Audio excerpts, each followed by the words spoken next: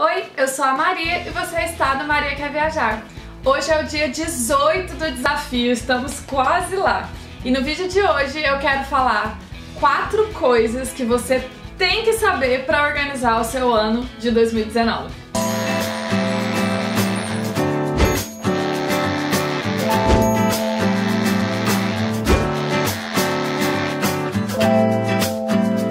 A primeira coisa é a sua saúde.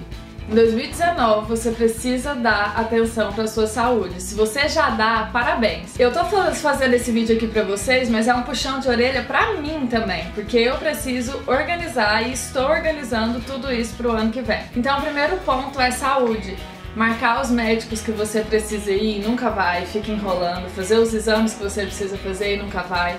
Beber mais água é uma coisa super clichê e que a gente não leva muito a sério às vezes. Comer bem, comer menos fritura, comer menos coisa errada, coisa não saudável, arrumar um tempo para você comer, não comer correndo, comer ali em cima do trabalho ou muito atrasado. E o que eu mais estou pecando que é fazer exercícios. Eu não faço exercício nenhum, zero exercício. E eu preciso muito, urgente, melhorar essa situação. Então, para 2019, o ponto número um é olhar mais para minha saúde. Número dois, família. Você precisa cuidar da sua família. No meu caso, eu moro longe, né? Eu moro aqui na Irlanda e minha família tá toda no Brasil. Então eu tô organizando, inclusive eu já consegui colocar algumas coisas em práticas, então eu tenho um tempo ali na semana, um, uns dias da semana, uns momentos, que eu ligo pro meu pai, converso com meu pai, ligo pra minha mãe, ligo pra minha irmã. Então, assim, todas as pessoas que eu preciso estar sempre em contato, eu faço questão de estar em contato. Eu erro, eu erro muito, muito, muito, muito, porque tem amigo que eu fico meses sem mandar mensagem e a vida de todo mundo é assim, é meio corrida, né? Então arrume um tempo para sua família, tempo de qualidade mesmo, não é ah, é, vou, sei lá, vou na casa da minha mãe ficar com ela um pouco, mas aí chega lá eu fico mexendo no celular, deitado no sofá, não presta atenção no que a minha mãe tá falando. Então arrume um tempo para você pegar as pessoas que você ama, sentar e conversar perguntar de verdade como elas estão, o que, que elas estão sentindo, se elas estão precisando de alguma coisa. Se você não conseguir ser pessoalmente, faça ligação, então alguma videoconferência, mantenha contato, cuide dos seus amigos, cuide da sua família, cuide de quem importa para você. Então, a segunda coisa que você precisa se preocupar em 2019 é a sua família e os seus amigos. A terceira coisa é as suas finanças. Em 2019, as suas finanças precisam estar organizadas, senão você não vai conseguir comprar nada do que você quer, realizar sonho, guardar dinheiro, fazer aquela viagem que você tanto quer fazer, mas é muito caro e você nunca se organiza para fazer. Inclusive, se vocês quiserem que eu faça um vídeo sobre só sobre organização, finanças para o ano de 2019, eu posso fazer. Porque aí nesse vídeo eu tenho que explicar para vocês como que você entende o que que é gasto fixo, o que que não é, o que que é receita, o que que não é, como que você pode economizar mais, como que você pode juntar mais dinheiro e não pode. Então tudo isso tem que ser claro dentro da sua cabeça, quanto que você pode gastar por mês com comida, com roupa, com lazer, com, sabe? Você precisa ter tudo isso separado. Então, 2019, você precisa cuidar das suas finanças. E se você quiser um vídeo só sobre isso, inclusive eu tenho até uma planilha que eu posso disponibilizar nesse vídeo de finanças, que é como eu controlo os meus gastos e, e, o meu dinheiro, o dinheiro daqui de casa, ele é muito pensado em viajar. Então a minha planilha tem lá umas colunas para coisas de viagem.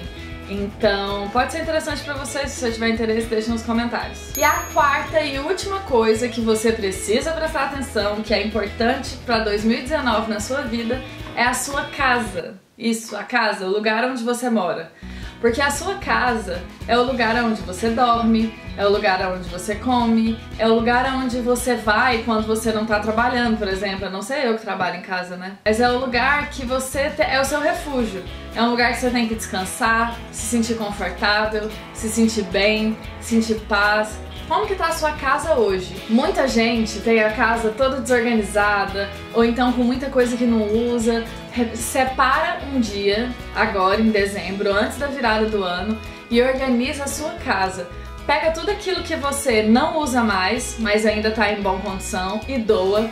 Tudo aquilo que você não usa mais e está quebrado, estragado e você está esperando consertar um dia, não vai consertar nunca, joga fora. Todas as coisas, as roupas, gente, faz um limpa no seu guarda-roupa antes de 2019. Eu faço isso todos os anos, inclusive esse ano eu ainda não fiz, então tá é, nesse final de ano eu ainda não fiz, ainda vou fazer quando começar dezembro, que é pegar, tirar todas as roupas do meu guarda-roupa, coloca em cima da cama e olha, eu uso isso daqui, isso aqui é importante, isso aqui combina com o resto das minhas roupas, ou essa é uma roupa que toda vez que eu uso eu fico arrumando, ou eu fico puxando, ou eu fico desconfortável.